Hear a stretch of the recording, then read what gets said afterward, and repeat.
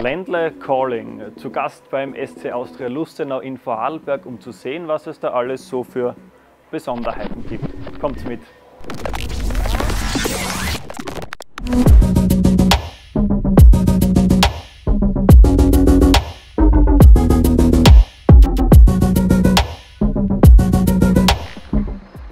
Hallo Andi. Servus, grüß dich. Jetzt? Gut, danke. Hier, es tut sich ja regelmäßig etwas, oder? Habe ich das Gefühl. Ja, jetzt in letzter Zeit geht es schon wirklich was äh, weiter. Wenn man natürlich die Bagger so sieht und hört den ganzen Tag. Also ja, es tut sich was. Kann man da überhaupt in Ruhe arbeiten neben einer solchen Großbaustelle wie hier? Ja, es ist ja, die Trainingsplätze sind ja noch ein Stückchen weiter dahinter und darum, äh, das geht schon. Hat sich überhaupt einiges getan, oder? Seit du im Jänner hier begonnen hast. Hier einmal mit dem Stadion, das ja dann in neuem Glanze erstrahlt. 2025, glaube ich, ist es soweit. Genau. Und auch sportlich. Wie Ja, würdest du es- das einstufen? Ja, es tut sich natürlich ständig was in unserem Leben und äh, als ich gekommen bin, die Baustelle hat es ja schon vorher gegeben, aber jetzt ist speziell in den letzten Wochen natürlich viel weitergegangen. Es gibt Höhen und Tiefen, so wie es da mal schneller und mal besser geht, vielleicht so auch im sportlichen Bereich. Absolut, das gehört im Sport einfach dazu. Ähm, äh, es geht nicht immer nur bergauf und man kann nicht immer nur gewinnen, sondern manchmal ähm, verliert man auch und das ist ja Teil des Sports und es ist auch wichtig, ähm, dass man diese Erfahrungen auch macht, äh, zu verlieren, weil Verlieren zum Sport dazugehört. Du hast zuvor die Trainingsplätze angesprochen. Hier wird man eher nicht trainieren können, heute und morgen noch. Magst du mir die Trainingsplätze zeigen? Ja, gerne. Es ist das Rheinvorland da hinter dem Wall, da können wir gerne hingehen. Perfekt, gerne, machen wir das.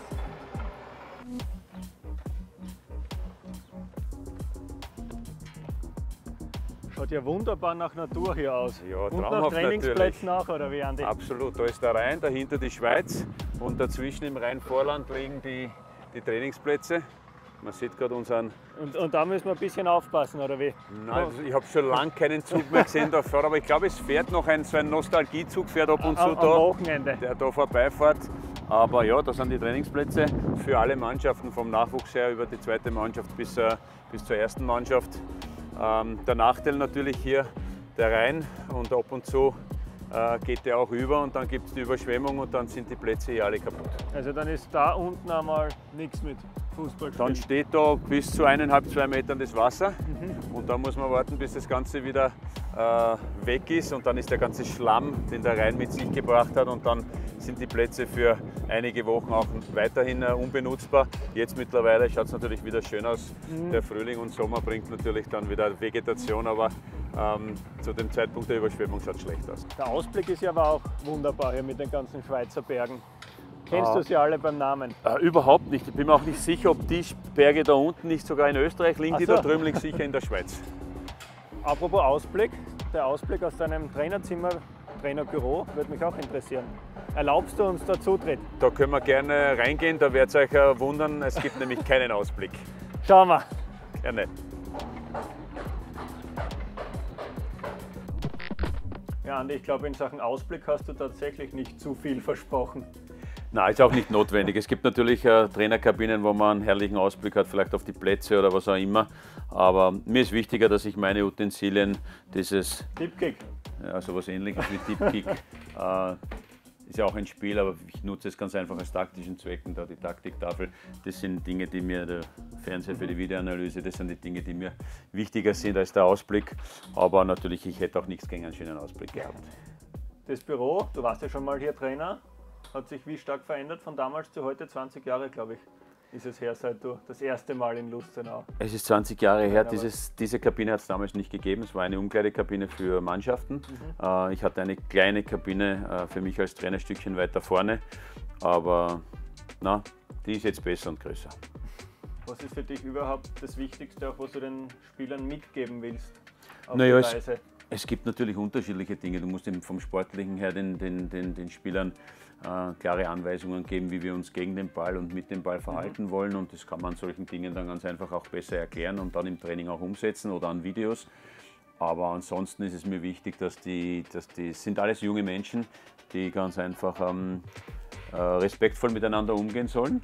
Ähm, weil diese Respektlosigkeit ja eigentlich in unserer Gesellschaft mittlerweile überhand genommen hat und sich die Welt sehr stark verändert hat. Und dann versucht man ganz einfach diese alten Werte wie Respekt und Wertschätzung nochmal hochleben zu lassen und auch in Teil meiner Arbeit einfließen zu lassen. Ganz einfach. Wie viele Stunden pro Woche verbringst du hier?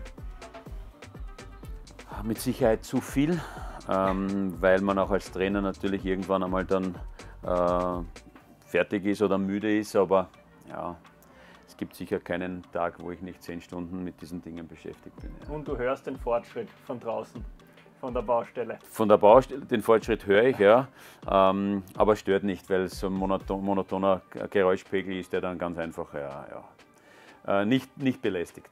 Und hier dann auch der Ort für Einzelgespräche mit Spielern oder gibt es die dann ganz woanders? Nein, genau das ist der Platz, wo die, die Jungs dann zu mir in die Kabine kommen. Auf diesem Sessel? Auf dem Sessel oder wenn es mehr sind, stehen sie dann da herum, aber auf dem Sessel führe ich die Einzelgespräche, genau so ist Das heißt für mich am Wochenende Startelf? Muss nicht sein. Also es eigentlich sitzen öfters die hier, die, die nicht spielen. Aue. Denen, ja, herein. Oh, es hat geklopft. Oh. Servus. Hast du Zeit für mich? Jetzt gerade ist schlecht. Ich, ich hätte Zeit. Servus. Ja, sonst kannst Kannst du mitkommen? Ja, bitte. Sehr gerne. Andi, vielen Dank. Gerne. Ich ciao, hoffe, ciao. dann, dann nimmt der Platz, der auch spielt am Wochenende. Gerne. Wenn ich schon nicht vorgesehen bin. Schauen wir mal. ciao. Servus. Was hättest du gebraucht vom Trainer? Ja, ich wollte Ihnen etwas Taktisches fragen wegen am Wochenende, aber ich bin auch zufrieden damit, dass du jetzt mitkommst. Glaubst du, dass ich dir da die Tipps geben kann? Ich glaube, das wird schwierig, aber ich kann ja zumindest das Stadion und die Stadt zeigen ein bisschen. Das klingt nach einer guten Idee. Top. Schaut nach Kabine aus da. Ja, das ist, das ist unsere Kabine. Ich glaube, die ist schon 80 Jahre alt. Ein bisschen was wurde schon erneuert. Wie man sieht, ist jetzt nicht die neueste Kabine. Aber ich denke, das hält uns Spieler am Boden, dass wir nicht abheben.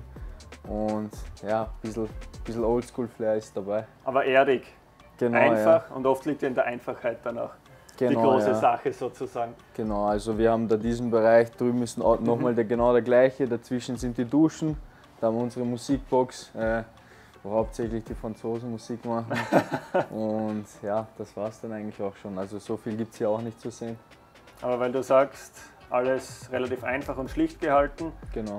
Habe heute schon ein paar Minuten in Vorarlberg verbringen dürfen. Es wirkt sehr entspannt, mhm. sehr ruhig. Jetzt spreche ich schon mit dem zweiten Wiener heute hier. Wie ist es für einen Wiener in Vorarlberg?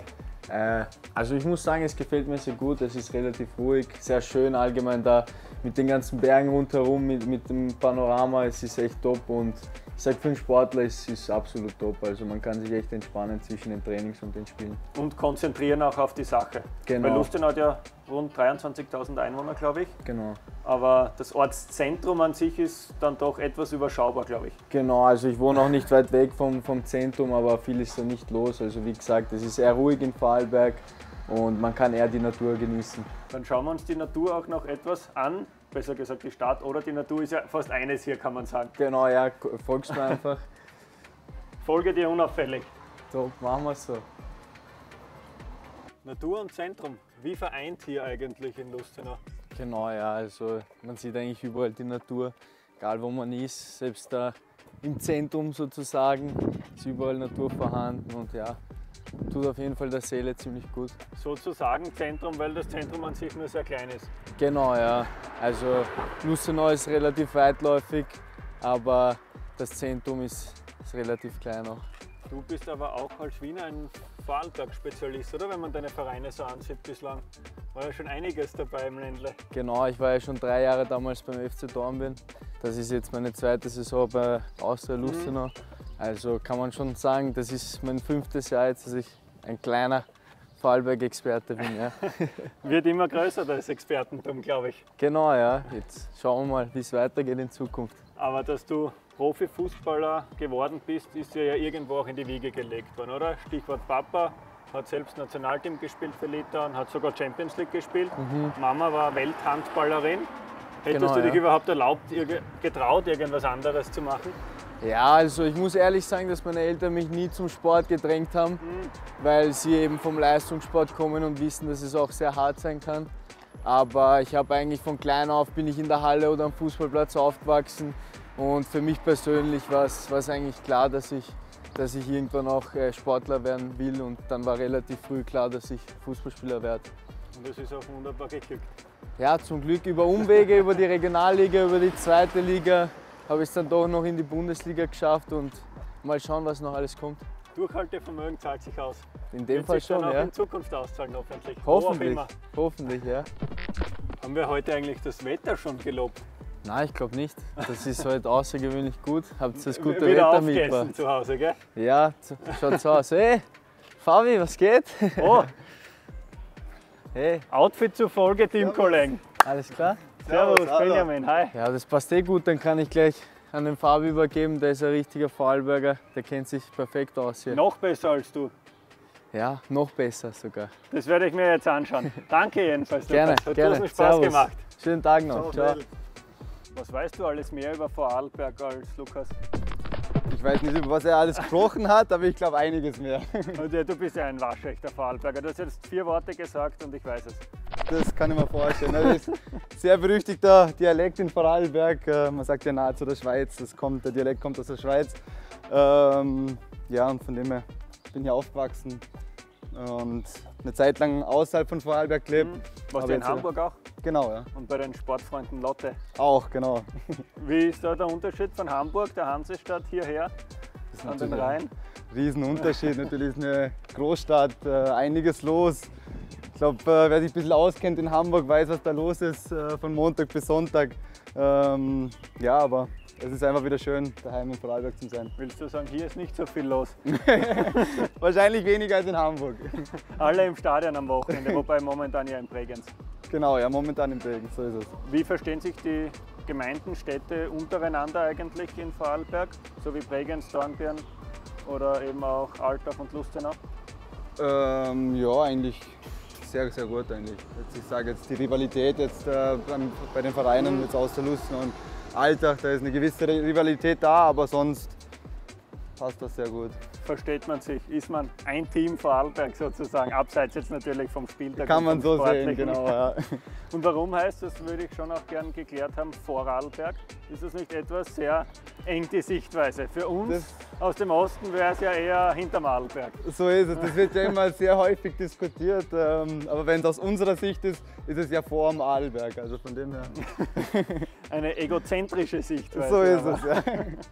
Sind die Vorarlberger sonst auch eher, nennen wir es engstirnig vielleicht? Oder wie würdest du den typischen Vorarlberger beschreiben? Würde ich gar nicht so sagen. Ähm, ich würde eher sagen, dass Vorarlberg ja sehr offen und sehr herzlich ist. Ähm, ich kann es jetzt relativ gut vergleichen, weil ich jetzt doch schon äh, in einigen Städten außerhalb von Vorarlberg gewohnt habe, also Stuttgart, Hamburg, in Holland. Ähm, ja, ich finde die, die Menschen hier sind einfach offen, egal wer kommt. Also von dem her ist es herzlich und offen. Kann ich nur bestätigen. Das freut mich. Wir befinden uns jetzt zwar schon längere Zeit im Zentrum, aber das ist das absolute Zentrum von Lustenau. Kann man das so sagen? Genau, ja, hier ist der blaue Platz. Im Hintergrund sehen wir äh, ja, das ehemalige Austria-Café. Ähm, und ja, hier ist quasi das Zentrum von Lustenau. Genau. Blauer Platz, weil, Äh, müß, würde, würde ich jetzt gar nicht weil blau wissen. angemalt. Genau, es ist der blaue Boden, aber es hat einen, einen Hintergrund, ähm, den müsste ich aber selbst nachfragen, was das genau für einen Hintergrund hat. Und das im Hintergrund, das Wahrzeichen oder? Äh, das Wahrzeichen von Lustenau, die Kirche aus Lustenau, genau. Und ansonsten hier noch der Reichshofsaal und dann sind es die Das ist Must-Visits sozusagen von Lustenau. quasi, ja, genau. Dann gibt es noch das Stadion, das Reichshofstadion, das ist aber ein bisschen außerhalb vom Zentrum. Aber bald Das- auch wieder sehr sehenswert, wenn dann neu renoviert. Denke ich auch. umgebaut? Ja, ich, also laut den Plänen sehr modern, ähm, klein und kompakt, würde ich sagen. Ähm, ich freue mich drauf. Ja. Jetzt haben wir die Nähe zur Schweiz schon gesehen. Einerseits haben wir mit Andi Herauf schon einen Blick hinübergeworfen über die Grenze. Mhm. Ist die Nähe zur Schweiz auch so erkennbar? Ein paar ja, noblere Autos habe ich schon gesehen da. Oder sind die alles von Lustenau-Spielern? Glaube ich jetzt eher nicht, aber ähm, ja, das ist, das ist ein, ein Faktor, dass viele Schweizer eigentlich hier, hier drüben sind in Vorarlberg, gerade auch wenn sie durch, durchfahren nach Deutschland, ähm, ist es sehr erkennbar, dass äh, ja, in, der Nähe, in der Nähe die Schweiz sich befindet. Bist du sonst auch regelmäßig hier im Zentrum unterwegs in Lustenau? Eher selten, da ich ja aus Dormen komme, bin ich eher in Dormen unterwegs, äh, wohne ja dort und in Lustenau eher, eher selten. Ja. Steppt in Dornbirn öfters der Bär. Kann man so sagen, genau. Tatsächlich.